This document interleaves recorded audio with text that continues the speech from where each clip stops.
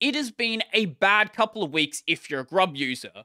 First with the issue over on Fedora Silverblue, where the system update functionality ceased to function. And now we have an issue over on Arch Linux as well. This was reported back on August 26th. So it's not affecting every single system. If you're running a BIOS system, so like an old ThinkPad, or you just want to use BIOS, you can update perfectly fine and nothing is going to go wrong. Only UEFI systems are going to be affected. But not every UEFI system only certain configurations, but no one is really sure on whether a system is going to be affected or not. So assuming your system is going to be affected is absolutely safer. And what's going to happen is a couple of different things. Some people are reporting a boot loop where the system just keeps trying to boot and nothing is actually happening, and other people are reporting that it drops them directly into their UEFI, which, if they have a UEFI password set up, is going to prompt them for a password. Either way, you won't be able to boot into Linux. Now, the earliest affected version is this version right here, which for the sake of my sanity, I'm going to refer to as R322-1. If you rolled back to an older version, like say R297 or R261, your system is not going to be affected. It will only be affected on this version and later. I say later because the problem has not been addressed yet. Now, I've seen a couple of people confused about this, but besides the fact this is also an issue with Grub, this has nothing to do with the issue over on Silverblue. They are completely separate problems. Also, unlike the Silverblue issue, this is not a problem with the architecture of the distro. This is a problem that could affect literally any distro and is affecting every distro based on core Arch Linux. So things like Garuda, Endeavour, Xero Linux, and things like that. But I'll get more into the derivatives in just a bit. Luckily, the solution to this isn't really that big of a deal. So R297 had a slightly different issue where sometimes your grub theme just wouldn't load, but the solution to both these problems is exactly the same. Firstly, what you need to do is rerun grub install, obviously changing the EFI directory to wherever it is on your system. Usually it's going to be something like slash EFI, slash boot, or in my case, slash boot slash EFI, whatever you're using on your system as well as regenerating your grub config.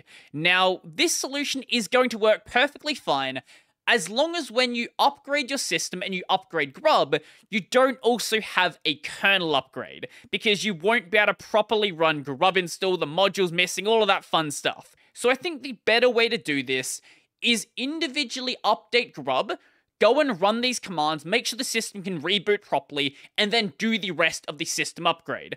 I know this is a partial update, but in this case, I think it's the safer thing to do.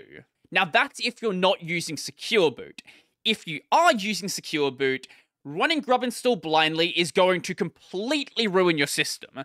So you're probably much better off temporarily disabling it, doing the fix, and then re-enabling it. It's not a great solution, but I don't know of anything better. I've not seen anyone suggest anything else. But why is this problem happening in the first place? Well, the first thing that was weird is that it's not affecting every single system.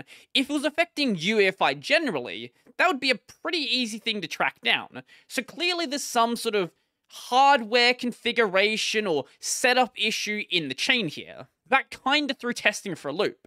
Also, someone tried it inside a VirtualBox, and the problem didn't happen. Like, consistently did not happen.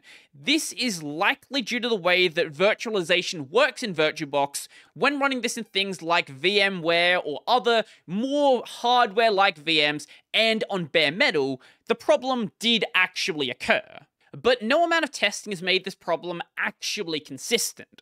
So after reading a bunch of error logs and tracking down the changes in Grub, it led to this commit right here, don't display a UEFI firmware entry if it's not supported. Add a new dash dash is dash supported option to command slash EFI slash EFI FW setup and conditionalize, which I didn't know was a word, display on it. This change modifies two separate files. Firstly, it adds in support for this new is supported option, and then in the 30 underscore UEFI dash firmware file, it makes use of the option but it also changes an if statement. So this if statement here is removed and then modified and moved down below the FW setup command. So now FW setup with this new option is always going to be run. And we also have this commit. Print an error if boot to firmware setup is not supported. So in prior versions of Grub, which is how you would have set up your system, anything R297 and earlier, if your system does not support FW setup, it's going to check if that is the case. If it doesn't, it is not going to register the command. Basically, the command is not going to be available to grub. Nowadays, though, in R322 and later, it is always going to be registered. And if your hardware does not support this functionality, instead what it's going to do is give you an error message. So here's the problem. If you had a system where it was not detecting or failing to detect that FW setup was supported, it would not be registered in prior versions. But since the new version invokes it 100% of the time, it produces the error unless you run grub install. That is entirely consistent with the behavior we are seeing when not everyone is impacted by the issue. So changes to this firmware file here, this is automatically going to be used in newer versions of grub. But when you are modifying the EFI FW setup file, that is not going to be re-executed until you run grub install again. Which also meant that for some of the testers, they didn't need to remove the entire FW setup call, they just need to remove the new option, because they had FW setup available on their system, but the version they had set up with grub install didn't have the new option available. So now the problem is known, the question now becomes what happens going forward? And initially, I was actually quite hopeful. So the first thing they did is three days after the initial problem, they reverted the problematic commit. The commit they reverted is this one right here, 26031 something or other, whatever that says.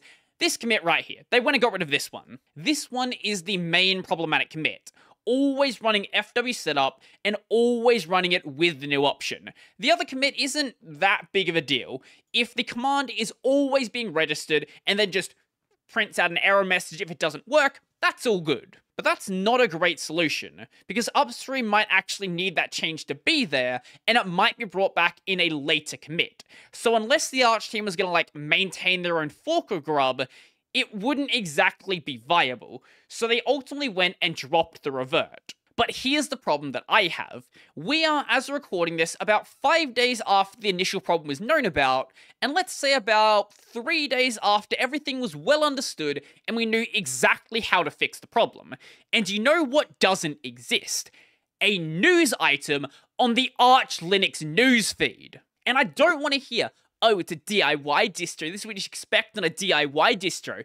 No, it's not at all what you should expect because the Arch newsfeed is where they post the manual intervention.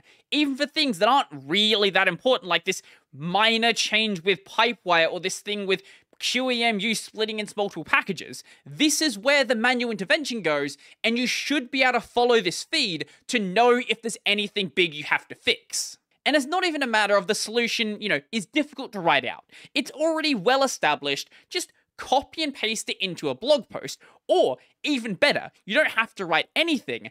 Link to EndeavourOS's write up because they have done an absolutely phenomenal job explaining what the problem is, why the problem happened, how you can fix the problem, how you can fix the problem if you've already rebooted, and everything you need to know. I'll leave this and also the write-up by the maintainer of Xero Linux in the description down below. This one's actually kind of interesting because it also includes a Pacman hook to make sure this doesn't happen again in the future. I personally wouldn't recommend running this, blindly running grub install is usually not a good idea. He has had good results himself and his users are also having good results, but I personally don't like doing this. There is one thing I've been neglecting to say there is one more commit available in this repo. This commit is currently available inside of Arch Linux testing, and without feedback, it's likely was going to make it over to the core repos. Add an upgrade message. This is the solution they are going with. So, not fixing the problem, but when you upgrade Grub, it's going to tell you this. To use the new features provided in this Grub update, it is recommended to install it to the MBR or UEFI due to potential configuration incompatibilities, it is advised to run both installation and generation of configuration, grub install, and grub make config. So when you update grub, this is going to be in your pacman output. So if you're not paying attention to the output, you'll have no idea this message was there. Does that remind you of anything? Because it certainly reminds me of something. I don't know what it is though. And I have I no have idea. yes, do as I say in order to install it. And maybe it will install and launch now. Hmm. What is the point of having a It's a mystery. Absolute mystery. In all seriousness, though, there's probably nothing better they can do without circumventing upstream.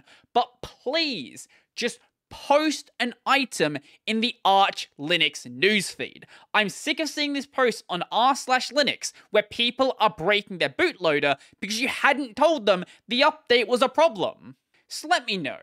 Were you affected by this problem? Did you have to go and chroot into your system and go and fix it from an ISO? Or did you know about the problem beforehand and then fix it before rebooting? I would love to know. In my case, I have been avoiding updating my system just in case the Arch team did something sensible. But it looks like, you know, I'm gonna have to fix it anyway. So that's going to be it for me. If you like this video, I'm going to go and like the video. If you really like the video and you want to become one of these amazing people over here, go check out my Patreon, subscribe, Sterling Barrow Pay, linked in the description down below. I've got a podcast called Tech Over Tea. I've got a gaming channel called Brodie Robertson Plays. That's going to be it for me, and I'm out.